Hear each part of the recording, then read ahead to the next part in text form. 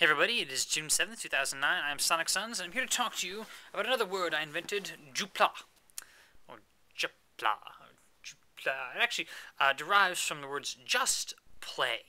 And it's something I want to use uh, generally in the context of video games. This derived uh, from when I was playing a game on Nintendo DS uh, called New Super Mario Brothers. And uh, I eventually got through the whole dang thing and just got to the point of replaying various levels uh, sort of just as, as, as, a way of I don't know, um, like an idle activity almost. You know, when you want like like drum your fingers. Sometimes I do that with with games. I just want to just play the thing and just you know, um, go run along with it. Sometimes it's very useful for, uh, for instance, get rid of stress, to have just something for your brain to do, etc., etc. There's one thing that really annoyed me though about the game. It's not something particularly unique for New Super Mario Brothers. Uh, it was all the frictional elements that are thrown in. All the little times where you have to you have to stop, you have to wait for something, you have to not play for even just a half of a second, or sometimes longer than that. You uh, you know have this, this game here and you boot it up, and then you know naturally it takes a certain amount of time to boot. I can understand there are technical limitations on this and a couple other things. Um, but then when I get in and it, uh, I, I, log into my you know save file or whatever, uh, it puts me on a world map. And then to select, you know, uh, a random stage, I have to walk there. And when I walk to some place, Mario has to move there, and then he has to pause when he gets to a stage, and then I hit the hit the button, pause, pause, pause, pause, until I finally get around to you know whichever place I felt like playing today. Um, and this is something again that I, I particularly noticed these things when I started getting to the point of replaying levels. Um, because when you're first time through, you know, maybe it's a little interesting to watch these random bits of things. Um, and they sort of lose interest with these as time goes on. Uh, but even in the beginning, though, I remember launching the thing and being, okay, I want to go like two levels over here, you know, to this other one and see if I can yada yada. And it did pause. And I was like, why don't we just, you know, click click. I'll just like rapid tap the, the left on the D-pad or something. Oh, there we go. There, I select the thing and I go there. That'd be nice. Mm, we can't do that.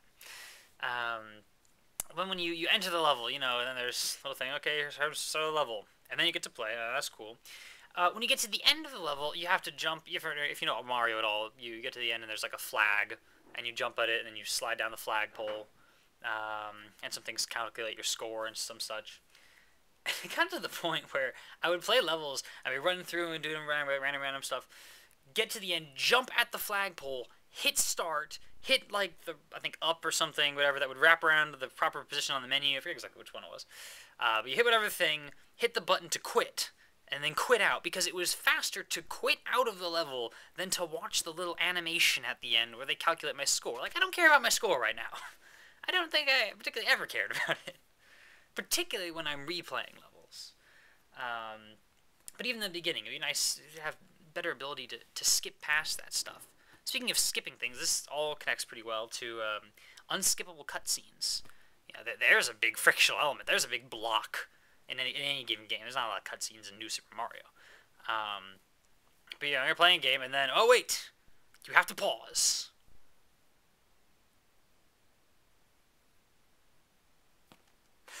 and maybe they've got a good cutscene. Maybe there's a good story. Maybe there's a uh, maybe maybe or maybe not. Maybe a it's a bad story, and or b I just don't care right now.